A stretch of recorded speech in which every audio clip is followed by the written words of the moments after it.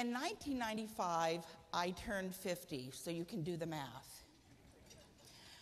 I'm on Social Security now. Anyhow, um, that year, a special dog was born named Freya. As my doctor was telling me that I had lost 95% of my vision because of glaucoma, which was misdiagnosed for five years. But uh, Freya was being conceived and born. I left my home after finding out, whoops, have a seat. You know the routine. You're the star. Anyhow, after I found out from my doctor what my diagnosis was, I went home, and at that time I was a drug and alcohol counselor for Sierra Council of Alcoholism and Drug Dependence at Lake Tahoe. What a place to be a drug and alcohol counselor, huh? well, I went home immediately and called rehab for the county of Nevada, Nevada County. And I asked them, are there any programs for visually handicapped people?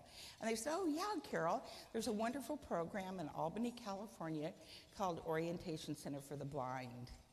I said, how soon can I get there? And they said, Well, you'll have to be interviewed. So my husband and I got in our car and came to uh, Albany. And the CEO said to me, How long have you been blind? I said, Well, I'm not really, really sure, but I know I stopped driving about six months ago because my daughter said I was going to hit people. And I said, And when I go to the store to find medication, there's just too many brands to pick from. Well, they, the CEO said to me, So you're just recently blind? I go, Yes, I think so. He said, Well, you can't come. I said, Well, why can't I? He said, Well, you need to get used to being blind. And I said, Oh, okay. So I went home and called rehab back, and they said, Well, we'll get you used to being blind. So they came to my house and set up everything for me as a handicapped person. Thank you, Volley. Six months later, I called the CEO and I said, I think I'm blind now. and I think I can do it.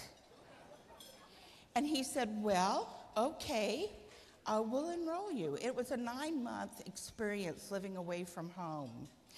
And on the weekends, every couple of weeks, I'd try and fly home to surprise my husband with what I was learning.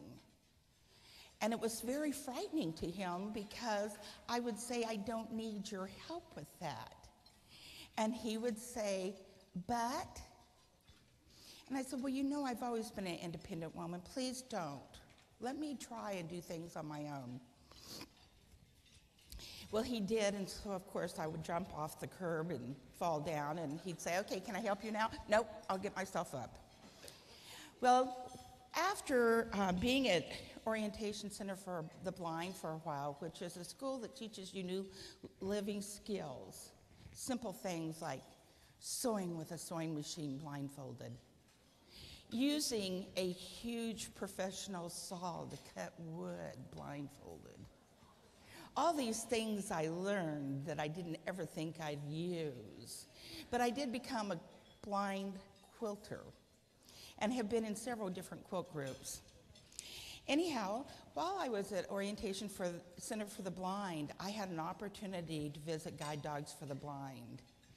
And my first step off the bus was met with the friendliest people that one has ever met.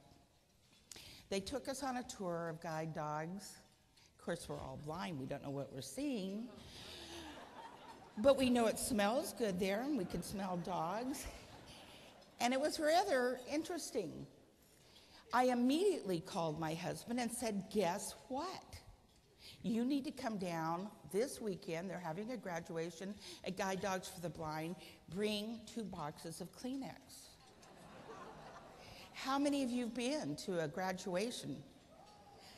Is that enough Kleenex?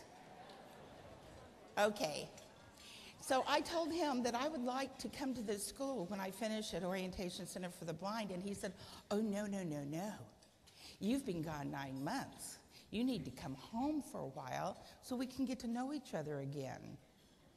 Well, I did. I came home for a couple of weeks, and guide dogs came to visit me, and they took me walking. And by the way, I, I didn't tell you I was living at Lake Tahoe there, or then, and I was close to Highway 89. And so when I came to the curb, I said to the instructor, hold my husband back because he thinks he needs to lead me across the street. So the instructor said, okay. So he held Pat back, walking slowly, and I got to the, the uh, end of the street, and I listened for the traffic, and I had my white cane, and as I walked out, my husband had a heart attack. and he said, Stop her! And he said, Why? He said, Well, because she's going to walk out into traffic. He said, And she didn't look both ways.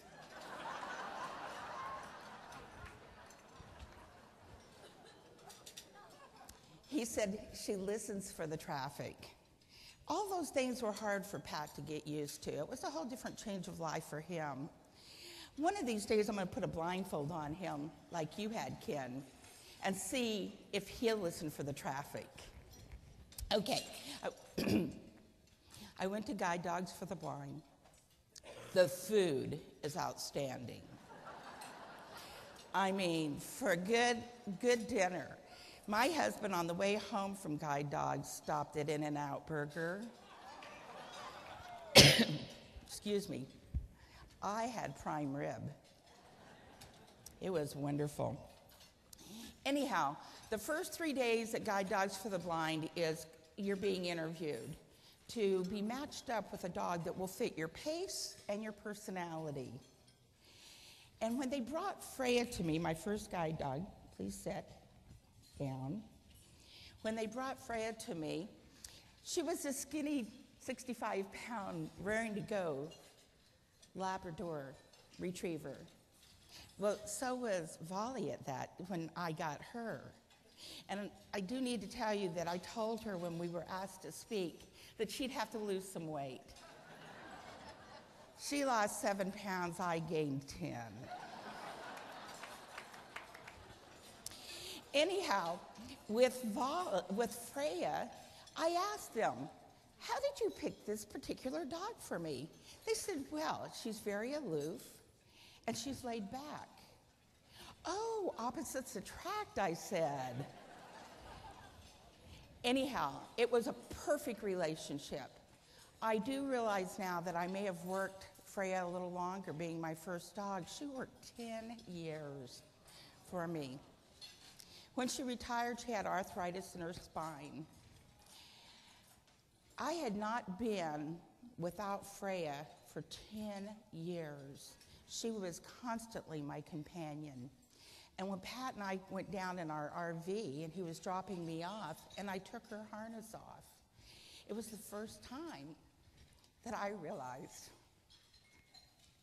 that she would now be Pat's companion and I'd be getting a new guide dog. Well, you know, it's like having your first child. You just know the second one's just going to be as good as the first one. Then I met Volley.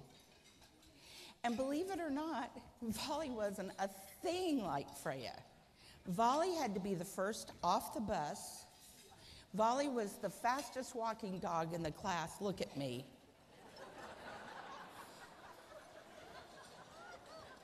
I mean, really. Anyhow, and she, she didn't bark, but she wooed at 6.30 every morning, which meant get up, feed me. She wasn't laid back at all, but what joy she brought to our home. Freya lived to be 16, so she had Volley in her life for four years. Because as you know, you receive your guide dog when they're two. And I did the math before I came here. But anyhow, Volley got Freya to be so energized, she was like a different person or different dogs. She was just running and jumping and playing. And I'm like, no, you're guide dogs. You're supposed to be laid back, reserved. Well, anyhow, she had the best fun for her last four years of life. We put Freya down last year in November. It was truly the most emotional time I've ever had in my life. A month later, one month and one day later, my mother died. And I thought, I had shed so many tears for Freya that I didn't know if I had enough left. But you know what? There's always a reserve. There is always a reserve. So, Mom and Freya, this talk is for you. I want you to know in conclusion that guide dogs has been a significant part of my life ever since the first day I stepped my foot on those grounds.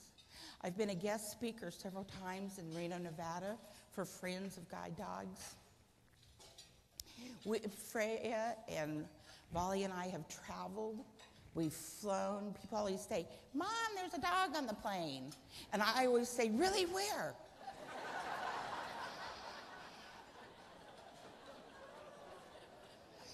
Anyhow, it was no coincidence that when I lost my vision, Freya was being trained to be my eyes. It was no coincidence that Orientation Center for the Blind introduced me to Guide Dogs for the Blind. It was no coincidence that Freya knew her time of being my companion was up before I knew it. And there definitely was no coincidence that Volley was being trained at that time to be my new guide dog. It's been an adventure. It's been life changing. It's been a wonderful, wonderful ministry. And if you know anyone, anyone who would love to have a guide dog, but they're scared, they're frightened because you walk so fast, there's nothing better than a guide dog versus a cane, and that's in my world. But I would be willing to talk to anyone who would who has a fear but would love to have a guide dog. And Volley would woo them all the way into it. Good night. Come on, Volley. Forward.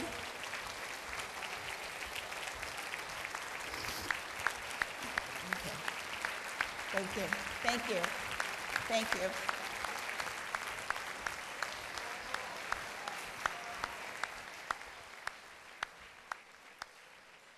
Volley. It's